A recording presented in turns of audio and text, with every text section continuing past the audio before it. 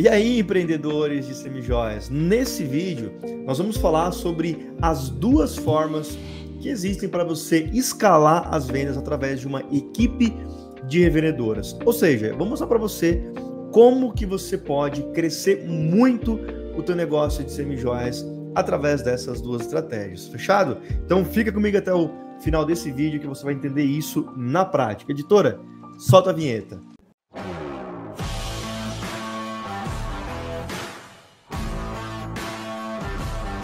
Então tá bom, vamos lá. Se você ainda não me conhece, eu sou Gustavo Becker, especialista em semijoias. Tenho três empresas dentro do mercado de semijoias. Eu falo isso em outros vídeos, conto a minha história em outros vídeos que você provavelmente já viu ou vai ter acesso em algum momento a esses conteúdos.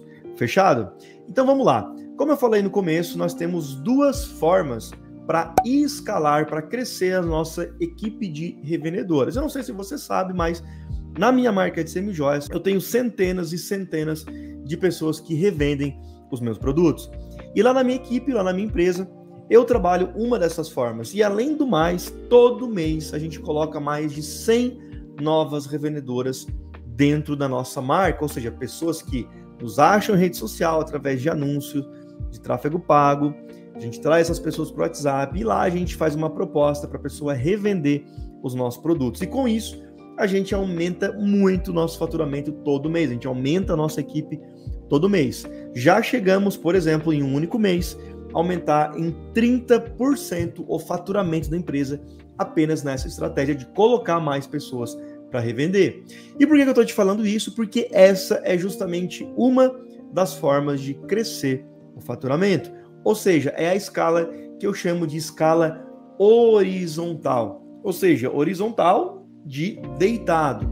E por que horizontal, Gustavo? Porque nessa escala horizontal significa que você vai colocar muitas revendedoras, várias e várias centenas de pessoas revendendo a tua marca, ou seja, você cresce o teu faturamento em número de pessoas que entram para a tua equipe. Ou seja, quanto mais pessoas eu coloco na minha equipe, mais eu aumento o meu faturamento, porque essas pessoas vão naturalmente vender a minha semijoia. Dentro dessa forma de trabalho, existe aí algumas características que é importante que você conheça para você saber se isso faz sentido para você ou não, ou se a segunda forma de escala vai fazer mais sentido para o teu momento de negócio. Quando eu falo de escala horizontal, eu estou falando o seguinte: muitas pessoas revendendo. Só que como são muitas pessoas revendendo, eu preciso diluir o meu risco de envio desses monstruários. E para que eu possa fazer isso, eu preciso literalmente enviar menos produtos para essas vendedoras. Ou seja, eu envio maletas para essas vendedoras com dois mil reais de produto para que o meu risco ele seja pequeno, para que eu possa enviar essas maletas para muita gente, para muitas pessoas revenderem. Então, logo, se eu envio dois mil reais de produto, que vai acontecer é que meu ticket médio por vendedora ele não é muito alto. Só que em contrapartida, eu tenho muitas pessoas revendendo os meus produtos e ao mesmo tempo o meu risco ele é muito menor. Ou seja, o meu risco de em percentual de eu ter inadimplência é menor, o meu risco de eu perder maletas também é menor, porque eu tenho muitas pessoas revendendo. Então eu diluo o meu risco. E no nosso caso, lá na minha empresa, é muito interessante porque o percentual de percas de maleta e o percentual de inadimplência é sempre muito abaixo do que eu estipulo para que a gente aceite ao longo dos meses, sempre muito abaixo da nossa meta de inadimplência e de percas de maleta. Então isso é muito legal, isso é um ponto importante de você entender. É claro que quando você faz essa estratégia, você tem mais trabalho aí na tua marca. E você tem mais trabalho porque são muitas pessoas para você lidar, são muitas vendedoras.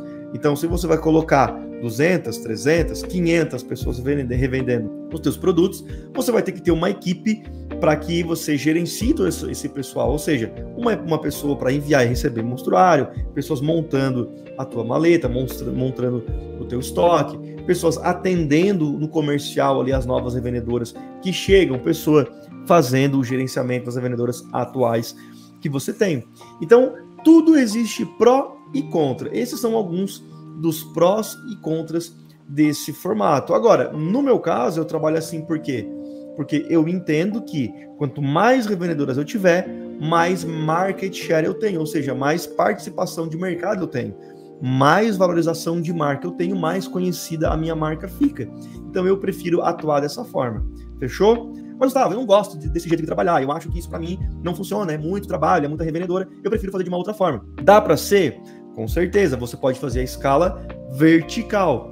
A escala vertical, ela é ao contrário da escala horizontal. Então, na vertical, você vai ter menos revendedoras, só que essas revendedoras, elas vão ter um ticket médio de venda maior. Ou seja, vamos, a gente tem, por exemplo, uma aluna nossa dos nossos treinamentos que ela fatura 92 mil, a última vez que eu falei com ela, com apenas 12 pessoas revendendo, 92 mil reais.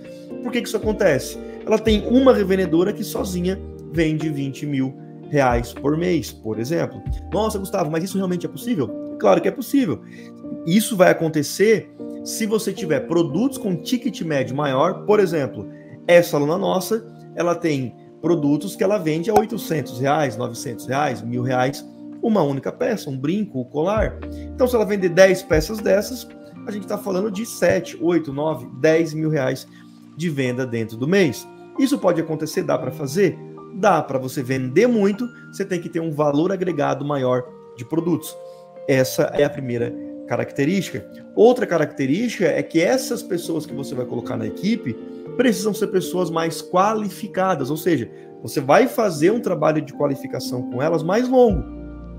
Basicamente, como se fosse uma entrevista de emprego. Então, você vai trazer a pessoa através de uma indicação ou através de algum anúncio, ela vai chegar até você e você vai entender o perfil dessa pessoa, se ela vai conseguir vender uma quantidade razoável, acima de 5 mil reais por mês, por exemplo, já é um bom número, ou se ela não tem potencial para conseguir fazer essas vendas. Então, essa é uma primeira característica. Outra característica da escala vertical é que normalmente essas vendedoras, para você conseguir fidelizar mais essas pessoas, normalmente as clientes dela pagam para você e não para a revendedora. Gustavo, como assim? Me dá um exemplo. Te dou um exemplo. A revendedora foi lá, atendeu essa cliente e ela tem um link de pagamento próprio que é da tua empresa, ou seja, ela vende, você recebe e você passa a comissão para ela.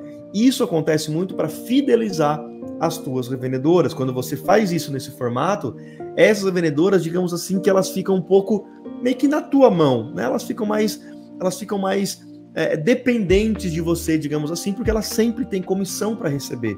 Então, quando você faz isso, existe uma grande tendência de você fidelizar mais as suas consultoras e, naturalmente, você também consegue ter aí uma previsibilidade de recebimento maior com poucas pessoas revendendo. Agora, o ponto negativo dessa forma de trabalho é que você vai colocar muita mercadoria na mão de poucas vendedoras.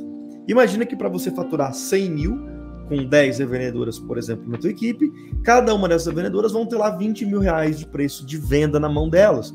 Logo, o teu risco é maior. Imagina se uma dessas revendedoras simplesmente some com o teu mostruário. Nós estamos falando de 20 mil reais de prejuízo, entre aspas, né, em preço de venda que você tem. No meu caso, uma revendedora fica com 2 mil de produto. Então, tudo tem prós e contras. Nesse modelo de revendedoras no, no formato vertical, a melhor estratégia para você colocar revendedoras é através da indicação.